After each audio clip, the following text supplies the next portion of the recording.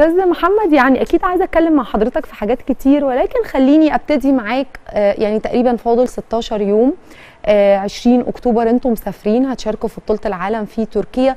آه، كلمني عن استعدادات منتخبنا وآخر رتوش الأخيرة ومين مشارك ومشاركين في في يعني بكم ولد وكم بنت وأخبار مشاركتنا إيه في بطولة العالم؟ هو طبعا آه، عندنا بطولة عالم للناشئين والشباب وتحت 21 سنة.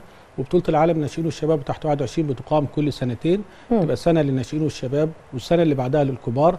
فيمكن بقالنا سنة بنستعد للبطولة وخصوصا إن إحنا آخر بطولة عالم ناشئين وشباب وتحت 21 كانت في تشيلي 2019 خدنا فيها مركز أول على مستوى العالم. فطبعا المرة دي عايزين برضو نحافظ على الصدارة بالنسبة للمرحلة العمرية دي فبدأنا بقالنا سنة معسكرين عاملين معسكر واشتركنا باللعيبة في إعداد آه، غير المعسكر الداخلي في أعداد خارجي في بطولة شمال أفريقيا في بطولة سيرياس اي بالكبار في بطولة بطولات الدوري العالمي للناشئين والشباب في قبرص وكرواتيا قبل كده عشان برضو ولادنا يحتكوا. فالحمد لله رب العالمين كان هم دلوقتي آه، في استعداد لبطولة العالم وفي معسكر مغلق لهم داخل المركز الأولمبي.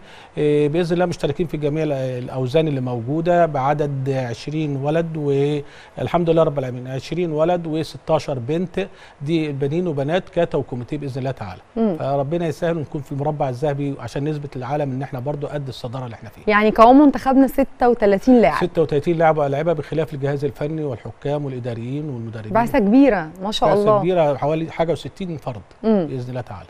أنتوا بتبحثوا عن يعني تأكيد الصدارة. بالظبط كده. مم. وخصوصا إن إحنا كنا بطولة عالم للكبار كانت في دبي في شهر 11 خدنا ترتيب عام تاني على مستوى العالم بالنسبة للأسوياء بعد ميدالية من اليابان. وبعد كده بالنسبة للاحتياجات الخاصة خدنا مركز أول عالم. فإحنا الحمد لله بالنسبة للكبار والناشئين والشباب في الصدارة الحمد لله. ويمكن في طفرة كبيرة في الرياضة المصرية في آخر أربع سنوات بسبب اهتمام الدولة وفخامة الرئيس استقبال اللاعبين وتكريمهم واعطائهم وسام الرياضه من الطبقة الأولى والثانية والثالثة. وكذلك معالي وزير الشباب والرياضه اللي هو فعلا شباب بمعنى شباب متواجد في كل خطوة تخص الرياضة. يمكن دليل على الطفرة اللي موجودة في الرياضة مستوى عام الرياضة عامة وليس الكاراتيه. إحنا في الكاراتيه كان له نصيب هذا العام في إقامة أربع بطولات دولية داخل جمهورية مصر العربية آه، في القاهرة فبطولة الدوري العالمي Premier League وده أعلى دوري عالمي الموجود على مستوى العالم. والدوري العالمي اللي هو Series A أيضا عملنا بطولة إفريقيا عملنا بطولة عربية على أرض مصر يعني أربع بطولات دولية في عام واحد لم تحدث في تاريخ الكاراتيه قبل ذلك. فده دليل على إن في نهضة فعلا للرياضة واهتمام بالرياضة. طيب حلو. خليني أقف عند النقطة دي وأسأل حضرتك انطباع الوفود إيه؟ يعني عن البطولة عن التنظيم انطباع كمان الاتحادات الاتحاد الدولي آه، الاتحاد العربي. انطباع الانطباع كان إيه عن تنظيم مصر للبطولات دي؟ واول ما نظمنا بطولة ال Premier League كانت في شهر 9 العام الماضي بعد طبعا آه، كورونا والكلام ده.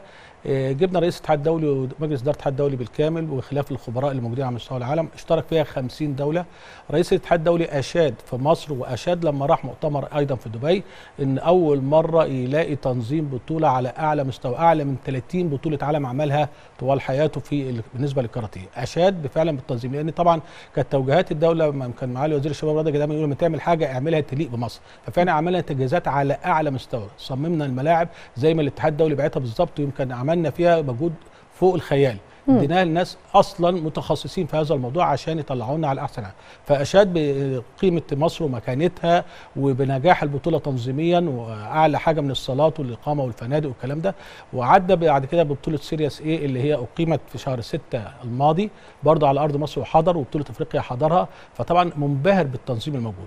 ووعدنا ب- إحنا في الأجندة الدولية هيحط بطولة سنوية داخل مصر بالنسبة للاتحاد الدولي كنت لسه هقول لك إن ده هيصب بعد. كده في استضافة مصر للأحداث. أول يعني ده بيبقى. support ليها. بالظبط. أول بطولة في أجندة الاتحاد الدولي في أجندة 23 في يناير يوم 26 يناير في بطولة الدوري العالمي اللي هو أعلى دوري ده في اللي هو دوري العالمي Premier League فعلى أرض مصر برضو إن شاء الله في 26 يناير.